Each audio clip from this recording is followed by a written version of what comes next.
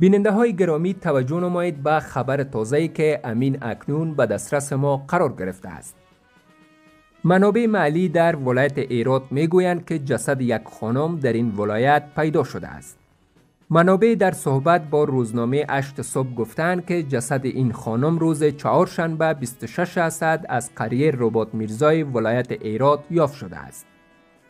منابع می‌گویند که این خانم ابتدا به قتل رسیده است سپس جسدش در پلاستیک پیچانده شده و در یک چقری پرتاب شده است.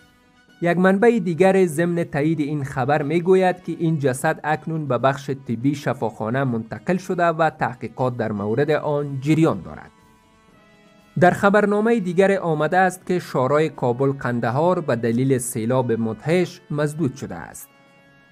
منابع معلی در ولایت زابل می‌گویند که شارای کابل قندهار در میان ولایت های زابل و غزنی به دلیل جاری شدن سیل مزدود شده است. منابع چهارشنبه شب 26 اسد می‌گویند که در اثر بارندگی های شدید این مسیر در منطقه بازار دیوانه ولسوالی قرباغ غزنی بسته شده است.